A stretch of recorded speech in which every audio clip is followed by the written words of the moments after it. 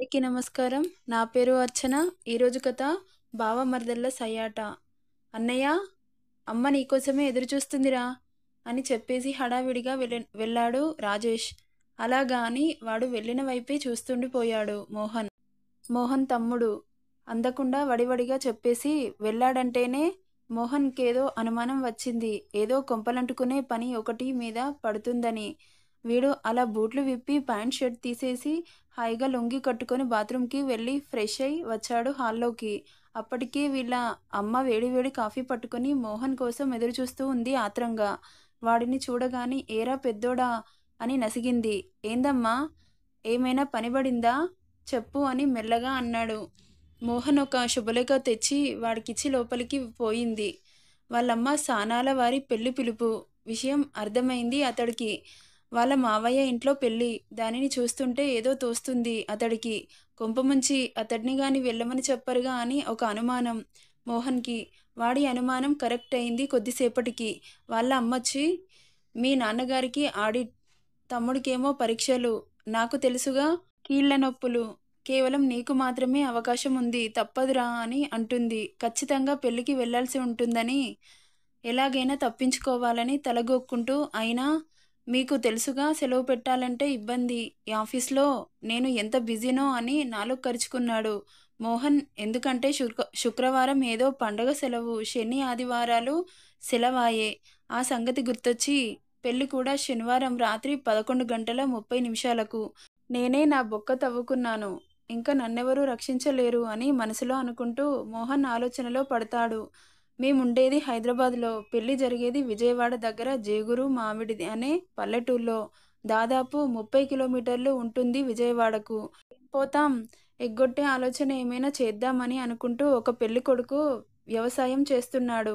నాకంటే దాదాపు మూడేళ్ళు చిన్నవాడు. అంటే ఇక ఇరవై ఒకటి ఏళ్ళు ఉంటాయేమో. నాకంటే చిన్నోడు పెళ్ళికి నేను వెళ్ళడం. అది పెళ్ళి కాకుండా ఎంత నరకమో అర్థం చేసుకోండి.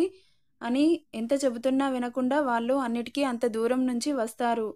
మరి కనీసం ఒక్కరైనా వెళ్ళకపోతే ఎలా అని అంటుంది వాళ్ళమ్మ. ఎలాగైనా పోకుండా తప్పించుకుందామంటే ఏమాత్రం కుదరనీయలేదు. ఇక వాదించి లాభం లేదని మెల్లిగా వెళ్ళడానికి తయారవుతాడు. సరే చేసుకున్న వాడికి చేసుకున్నంత మహానుభావ అని ప్రయాణమయ్యాడు మోహన్. శనివారం ఉదయానికి ఆ ఊరు చేరాను. అరే ఎప్పుడొచ్చావు అంతా కులసేనా? కాఫీ తాగుతావా? టీ తాగుతావా? ముందు ఈ నీళ్ళు తాగు. సకినాలు తింటావా? బూంది లడ్డు తింటావా? అని మర్యాదలు. అమ్మా నాన్న రాలేదా? అని అడగగానే ఆరోగ్యం బాలేదని అందుకే రాలేదని చెబుతాడు. అయ్యో ఎలాగుంది?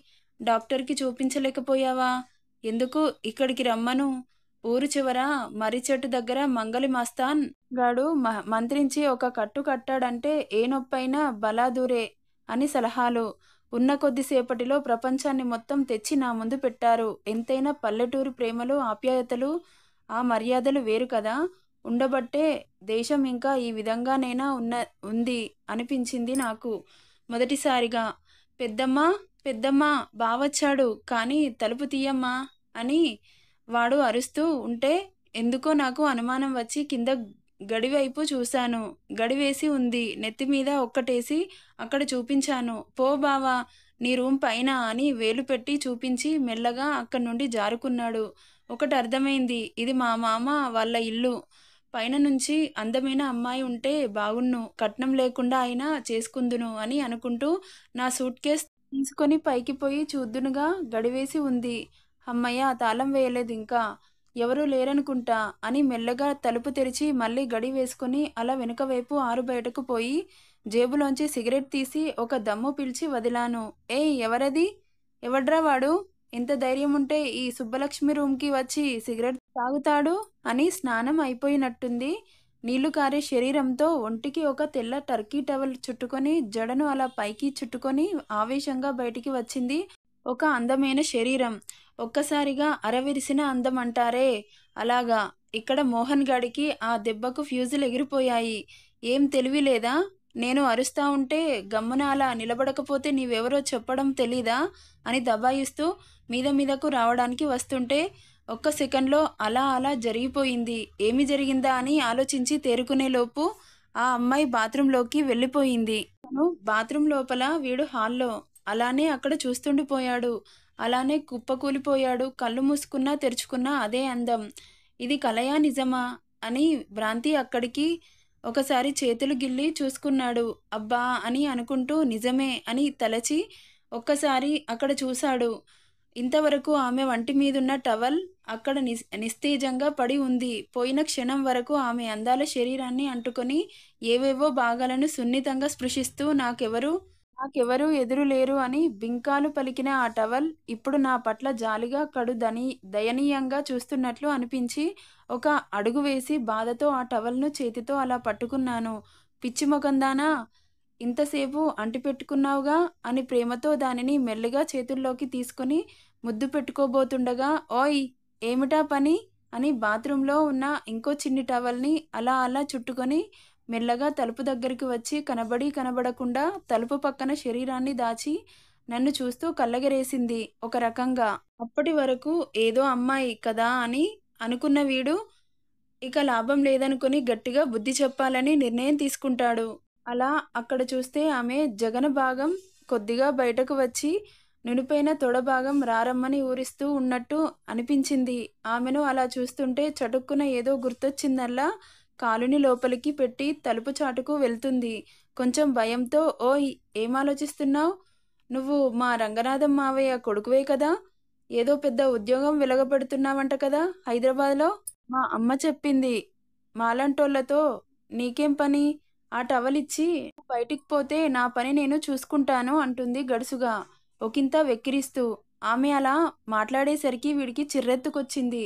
నువ్వు వచ్చి మర్యాదగా సారీ చెబితే కానీ నేను ఇక్కడి నుండి పోను అని అంటాడు స్థిరంగా అక్కడ కూర్చొని. పో పోవయ్యా నీకు సారీ చెప్పేదేముంది? మా ఇంటికి వచ్చింది నువ్వు సిగరెట్ కాల్చింది నువ్వు అందుకు నువ్వే నాకు సారీ చెప్పాలి అని అంటుంది అంతే గడుసుగా. అదో రకంగా వెక్కిరిస్తూ కొద్దిగా తలుపు తెరిచి ఆమె అలా వెక్కిరిస్తుంటే అతడికి ఎక్కడో గుచ్చుకుంటుంది మనసులో. తీయగా నవ్వుతూ ఆమె వైపు చూస్తాడు కొంటగా. మరి ఏం చేయమంటావు? నా ఇంటికి వచ్చి నా రూమ్కి వచ్చి సిగరెట్ కాల్చి పైగా మళ్ళీ నన్నే సారీ చెప్పమంటావు. ఎంతైనా మీ మగబుద్ధి చూపించుకున్నారు కాదు. మీ ఆడవాళ్ళు ఏవైనా తక్కువ తిన్నారా? ఏదో బంధువు ఊరికాని ఊరి నుండి వచ్చాడు. వయసులో ఉన్న కుర్రవాడు ఏదో సరదాకి సిగరెట్ కాలిస్తే కాల్చుకొనియాలి కానీ అలా వెంటబడి తిట్టేస్తే ఏమనుకోవాలి? అని అంటాడు. అంటే మీరు సిగరెట్ కాల్చినా దానితో మాకు వాతలు పెట్టినా మేము అలా భరిస్తూ ఉండాలా? అంతే కదా బావా? అని అంటుంది గోముగా. ఆమె బావా అని అంత గోముగా అడిగేసరికి ఫిదా అయిపోతాడు. ఆ పిలుపు ఎందుకో అతడికి ఎక్కడో గుచ్చుకుంటుంది. మనసు కూని రాగాలు పలుకుతుంది. ఇన్ని రోజులు ఇలాంటి అందమైన అమ్మాయి కొరకే కదా తాను వేచి చూసింది అనిపిస్తుంది. ఆ హైదరాబాద్లో ఆ జీన్స్ మిడ్డీ లాంటి పిల్లలను ఎంత చూసినా ఇంత పల్లెటూరి గుబాలింపు ఎక్కడ నుండి వస్తుంది అనిపిస్తుంది. ఒక్కసారి ఆమె నకషిక పర్యంతం చూస్తాడు. ఆకట్టుకునే ముఖం అందమైన నవ్వు నునుపైన చెక్కిళ్ళు లేలేత పెదాలు నవ్వితే మిలమిలా మెరిసిపోయే పళ్ళు వరుస చూపులతో ఎంతటి వాడినైనా పడేసే కళ్ళు చక్కటి మెడ ఆ మెడలో సన్నటి బంగారు గొలుసు విశాలమైన భుజాలు ఎత్తైన వక్షస్థలం సన్నటి నడుము ఇలా ఒక అందమైన ఆడపిల్లకు ఉండాల్సిన సర్వ హంగులు ఉండడం నా అదృష్టం అనుకుంటాడు ఆశగా. అతడు అలా ఏదో ఆలోచిస్తూ తనను పైనుంచి కింద వరకు చూస్తూ ఉంటే ఏదో అనిపించింది ఆ అమ్మాయికి. బావా అని మత్తుగా గమ్మత్తుగా పిలిచింది. ఆ అని ఈ లోకంలోకి వస్తాడు. నా టవల్ అని అడుగుతుంది కొంటెగా. నీవు వచ్చి తీసుకుపోతే నాకు ఎటువంటి అభ్యంతరం లేదు అని అంటాడు. టవల్ని వెనుక వైపుకి ఉంచి ఏవో పాత జ్ఞాపకాలు తడుముతుండగా ధైర్యం చేసి నేను ఇలా వస్తే నువ్వే ఇబ్బంది పడతావు అని అంటుంది మొండిగా. వాళ్ళ సరస సంభాషణలు వినడానికి కిటికీ సందుల్లోంచి చల్లగాలి అప్పుడప్పుడు వచ్చి వెళుతుంటుంది. ఎన్నిసార్లు అడిగినా అదే సమాధానం. బయటకు పొమ్మని ఆమె చెప్పదు. వెళ్ళాలని అతడికి అనిపించడం లేదు. ఇద్దరి మధ్య కలహం అలా వినడానికి చూడ్డానికి హాయిగా ఉండగా గాలి కూడా ఆగిపోయింది. తిరిగితే ఆ చప్పుడుకు వాళ్ళు పక్కకు వెళ్తారేమోనని ఎవరైనా వస్తే బాగుండదు. నా టవల్ ఇస్తే నేను చుట్టుకొని డ్రెస్ వేసుకోవాలి. అవతల పెళ్ళి కొడుకుని చెయ్యాలి అని అంటుంది రిక్వెస్ట్ చేస్తూ. మరెందుకు ఆలస్యం? నాకు సారీ చెప్పి నీ టవల్ తీసుకుపోవచ్చు అని అంటాడు ధైర్యంగా. టవల్ను గట్టిగా చుట్టుకుంటూ చేతికి అయితే నువ్వు కళ్ళు మూసుకో అంటుంది మెల్లగా. ఆ మూసుకొని అంటాడు లయబద్ధంగా ఆమె మాటలకు. నువ్వు మూసుకుంటే కదా నే చెప్పేది. ఆ మూసుకోండి అని గట్టిగా చెబుతుంది అధికారికంగా. కొద్దిగా మూసుకుంటాడు కొద్దిగా అడుగుల చప్పుడు. ఇంకొద్దిగా మెల్లగా చేతుల్ని అడ్డు పెట్టుకొని కొద్దిగా కళ్ళు తెరుస్తాడు. మెల్లిమెల్లిగా చిన్న టవల్ చుట్టుకొని పైన కింద అపసోపాలు పడుతూ చటుక్కున అక్కడ విడిచేసిన ఆమె డ్రెస్ తీసుకొని పక్కనే ఉన్న కర్టెన్ను అడ్డు వేసుకుని చకచకా వేసుకుంటుంది. ఆత్రంగా అక్కడ ఎదురుగా ఉండే అంద అద్దంలో అన్నీ కొద్ది కొద్దిగా కనబడుతున్నాయి నీడగా. ఆమె నగ్నత్వం కళ్ళ ముందు నీడలా పరుచుకుంటుంటే కళ్ళు మత్తుగా ఆవహిస్తాయి.